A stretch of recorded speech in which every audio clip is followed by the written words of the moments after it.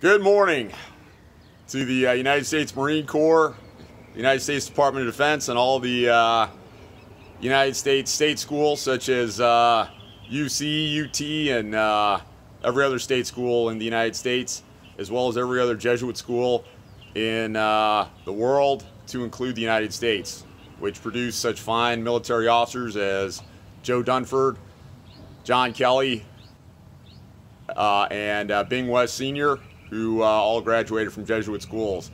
So God bless America, and uh, God bless uh, Jesuit schools everywhere.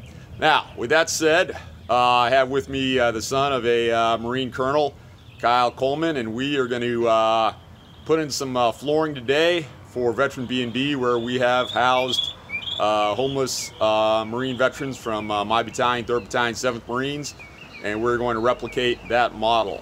So uh, safety first, I have safety glasses on. Kyle has safety glasses on, uh, as well as gloves, as well as uh, uh hearing protection, uh, which uh, our chairman, Colonel Coleman, has mandated for us because safety first. we love Marine Air. When it's on station, it's great. Hoorah out here.